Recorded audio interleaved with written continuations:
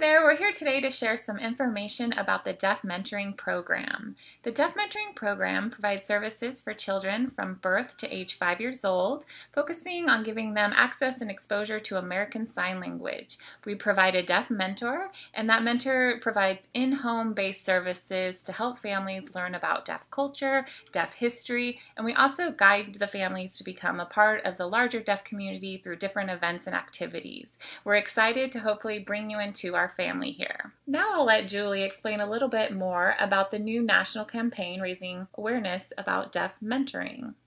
So as you can see here on my shirt, we are using hashtag deaf mentor. And the reason for this hashtag is that we want to educate the community and the nation about the Deaf Mentor programs that are available throughout the entire U.S. They provide services like Chrissy was mentioning. We want to spread that awareness and share information with everyone and just gather that support.